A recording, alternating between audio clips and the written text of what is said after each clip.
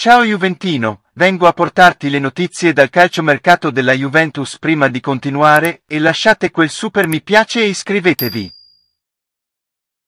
Avendo una delle migliori basi, con grandi giovani e promettenti giocatori di calcio, la Juventus pianifica di ampliarla ulteriormente. La Juventus ha iniziato le osservazioni su un giovane attaccante brasiliano, Mateus Franca. Mateus Franca è un giocatore del Flamengo ed è considerato da molti una delle grandi promesse del calcio brasiliano. Mateus Franca ha 19 anni e ha suscitato l'interesse della Juventus, che si aspetta di fare una proposta per lui a giugno.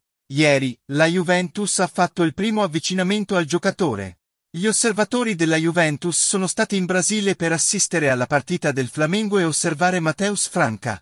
Il Flamengo ha respinto offerte recenti di 20 milioni di euro. In altre parole, per acquisire il brasiliano, la Juventus dovrà fare un'offerta superiore a 20 milioni di euro. Ditemi voi, vale la pena pagare più di 20 milioni per un giovane promettente come Mateus Franca?